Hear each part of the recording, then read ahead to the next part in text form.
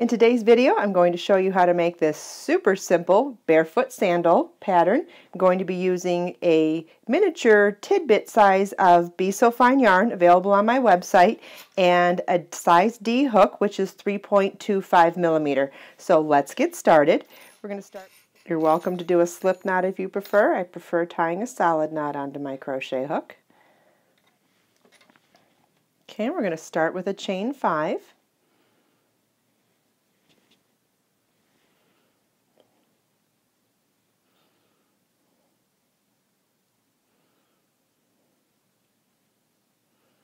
And we're going to slip stitch into the fifth chain from our hook to form a ring.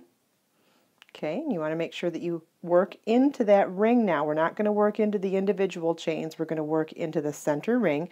We're going to start with a chain 12.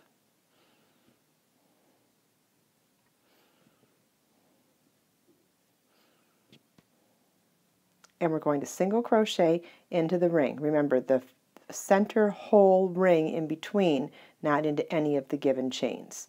So we'll single crochet and then we're going to chain 12 again.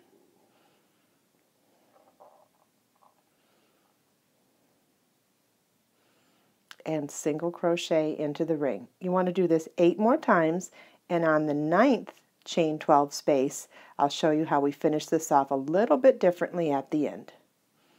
Okay, you'll see we have our eight loops now one, two, three, four, five, six, seven, eight.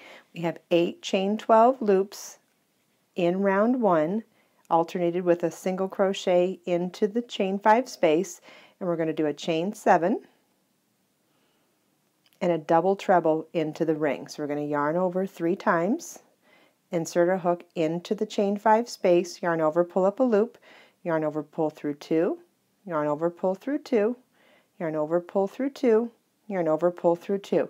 And the reason we do that is because we want to end up at the top of this chain 12 space for the next round. We're going to chain four, which counts as a double crochet chain one, and double crochet into that same chain 12 space.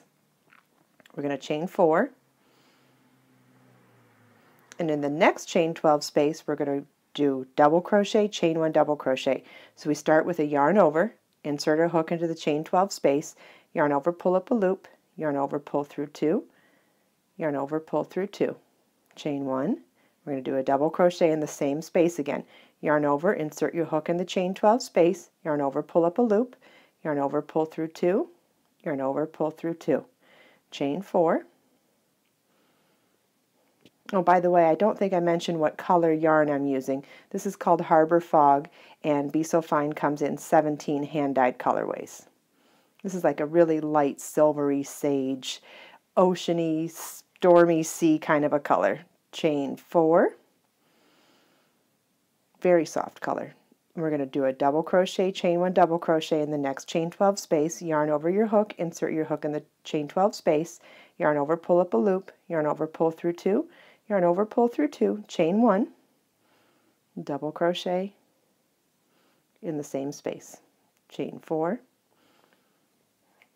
in the next chain four space, chain 12 space, we're going to do a double crochet, chain one, and a double crochet. Chain four,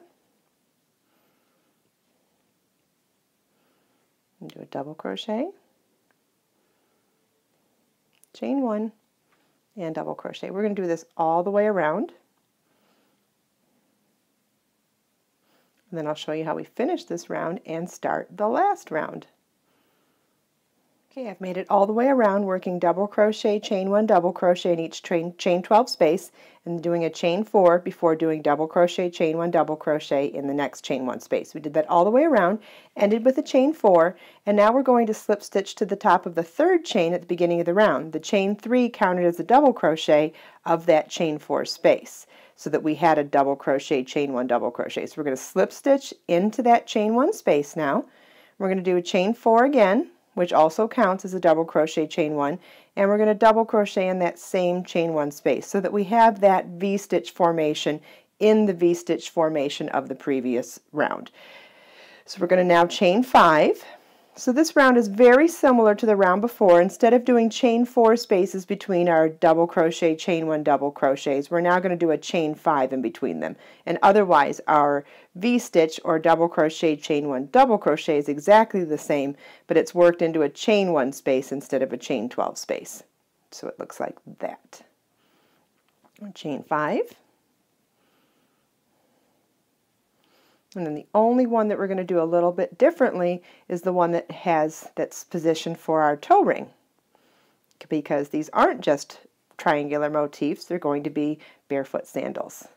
This particular pattern for a barefoot sandal is really, really easy and quick to work up. This would be a great project over a weekend to do for a, um, a wedding party, like a beach wedding. It would be so super cute. Let me just make sure I'm at the right one. Um, see, I went too far, so we're going to back up one more, one spot. Okay, so we did our first V-stitch, second, and third. So on the fourth one, we want to prepare for our toe ring. So we have a, we're going to chain 13 total.